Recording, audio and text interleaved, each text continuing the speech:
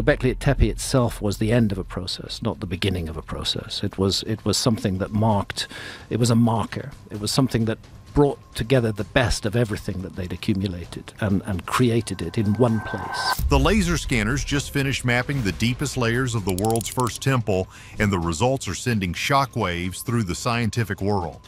Scientists have spent decades trying to explain how ancient people moved 50-ton rocks up a steep hill without horses or wheels. We'd never before known or imagined even that simple hunter-gatherers could produce such spectacular monumental structures. Now, a 2025 study has revealed tool marks that look more like they were made by high heat than by stone hammers. This site was built 11,600 years ago, yet the symmetry found in the stone enclosures is perfect to the millimeter. This discovery suggests that everything we were told about our ancestors is a flat-out lie. The temple that shouldn't exist.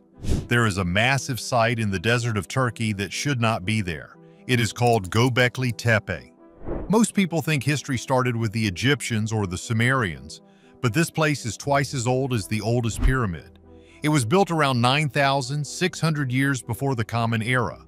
That means it is over 11,000 years old. To put that in perspective, the famous Stonehenge in England was built only 5,000 years ago. Göbekli Tepe was already ancient and buried when the first stone was moved at Stonehenge. This site is so old that it was built by people who did not have metal, did not have the wheel, and did not even have a way to write things down. Yet they created a megastructure that covers an area as large as 20 football fields. The site is made of at least 20 circular rooms. Each room has huge pillars shaped like the letter T. These pillars are not just rough rocks, they are beautiful monoliths standing up to 18 feet tall. Some of them weigh as much as 50 tons. 50 tons is about the same weight as three large school buses stacked on top of each other, and here's the kicker. These stones were not found on top of the hill. They were carved out of the solid bedrock at the bottom of the hill and then moved up to the summit. Modern engineers say that moving a 50-ton stone up a steep grade today would require heavy-duty cranes and a team of experts. These ancient people did it with nothing but their bare hands and some rope. But it is not just the moving of the stones that is strange, it is the art. Every pillar is covered in detailed carvings of dangerous animals. You can see lions with their ribs showing, angry foxes, scorpions, and vultures. These are not simple drawings. They are carved in what is called high relief. This means the animals stick out from the stone. To do this, the carvers had to remove all the stone around the animal, leaving the figure standing out. This takes a massive amount of time and skill. If you make one mistake, the whole thing is ruined, and they did this on one of the hardest types of limestone in the world, using only other stones as tools. The official story we are told is that these were hunter-gatherers. These were people who spent all day just trying to find enough berries and meat to survive. They did not live in houses. They did not have cities. But that story is falling apart. Hunter-gatherers do not have the time or the food to support a team of hundreds of stone carvers for years. They do not have the organization to move 50-ton rocks. To build a site like this, you need a massive amount of extra food, a way to organize thousands of workers, and a reason to stay in one place for a very long time. This site proves that someone in the ancient world had all of those things long before we thought it was possible. But the most terrifying part of the site is not how it was built, but how it ended.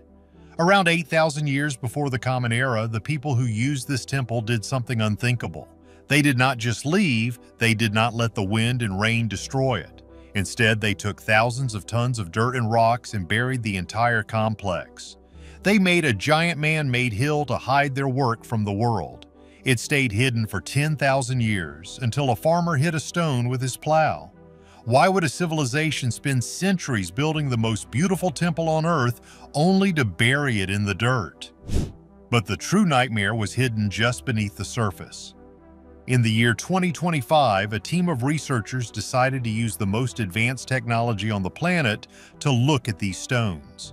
They used three-dimensional laser scanners that can see details smaller than a human hair. They also used artificial intelligence to look for patterns in how the stones were cut. What the AI found has left the team completely speechless. Most people think ancient people just hammered away at rocks until they looked right. But the computer found that the pillars were placed with a level of mathematical precision that is scary. The AI looked at the centers of the three oldest enclosures. It found that if you connect the center points of the pillars, they form a perfect equilateral triangle. The sides of the triangle are even to within a fraction of an inch. To do this, you need to understand complex geometry. You need to know how to measure long distances over uneven ground with perfect accuracy. Remember, these people supposedly did not have rulers or even a way to write down numbers. Yet they were doing math that we usually associate with the Greeks thousands of years later. The computer also looked at the tool marks on the stones. For decades, we were told that the pillars were shaped by pecking. This is a slow process where you hit a rock with another rock over and over again. But the 3D scan showed something different along the edges. The AI identified linear cuts that are perfectly straight for over 3 feet. The width of these cuts is only about 0.1 inches. This is extremely thin. When the computer compared these marks to known stone tools, it could not find a match. Stone tools usually leave rough, jagged edges. These cuts were smooth and clean. The data suggests that whoever built the pillars had a way to cut through solid limestone as if it were soft wood. There is no evidence of metal tools at the site. No bronze, no iron, nothing. In fact, if they had metal, we should find rust or chemical traces in the stone. But the stones are clean. This leads to an uncomfortable question. If they did not have metal and stone tools, could not make these cuts, what were they using? The AI analysis of the surface texture showed that the stone was not just cut, it was almost melted in some places. This brings us to the machine signature problem. When we use modern machines to cut stone, they leave very specific patterns because of the way the blade spins or moves. The AI found patterns on the pillars that look more like they came from a machine than from a human hand. The spacing between the marks is too consistent. The depth is too perfect. It looks like the work of a robot, not a tired human working in the sun 12,000 years ago. This discovery is horrifying because it suggests that there was a level of technology on this planet that we know absolutely nothing about. Soon the scanners would reveal a tool mark that defied all known science. The Fire and Ice Secret one of the biggest wow factors found by the new research is evidence of something called thermal shock. Scientists found scorch marks and heat damage deep inside the limestone quarries. By using chemical analysis, they found that parts of the bedrock were heated to between 750 and 1100 degrees Fahrenheit. That is incredibly hot. To get limestone that hot, you need a massive controlled fire. But they did not just burn the stone, they also found signs that cold water was thrown onto the hot rock immediately. This is a very advanced way to break stone. When you heat rock and then cool it fast, it shatters in a straight line. But to do this and create a 50-ton pillar without accidentally breaking the whole thing is almost impossible. You have to know exactly where the natural faults are in the stone. You have to control the heat so it does not go too deep. The fact that they were using this method 11,000 years ago is a massive curiosity. It shows they were not just hitting rocks, they were using physics and chemistry to do the hard work for them. And get this, the heat marks were not just in the quarries, they were found on the finished pillars themselves. Some of the detailed carvings of animals show signs of being smoothed out using high heat. It is almost as if they had a tool that could melt the surface of the limestone to make it look like glass. Modern stonemasons use high-pressure water or diamond saws to get this look. The idea that someone was doing this at the end of the Ice Age is putting it lightly when we call it a mystery. It changes our entire understanding of the human story. The crazy part is that this fire and ice technique appears out of nowhere. Usually, when a new technology is invented, you find a lot of mistakes first. You find rocks that exploded because they got too hot. You find pillars that cracked in half. But at Göbekli Tepe, the very first pillars they made are the most perfect. There is no learning curve. It is like they showed up on the first day, already knowing every secret of the stone. This suggests that the people who built this were not starting civilization, they were continuing a tradition that was already thousands of years old. So, if this knowledge was so great, where did it go? Why did the people who knew how to melt stone and move 50-ton blocks suddenly stop? The site was active for about 1,500 years. Then it was buried and forgotten.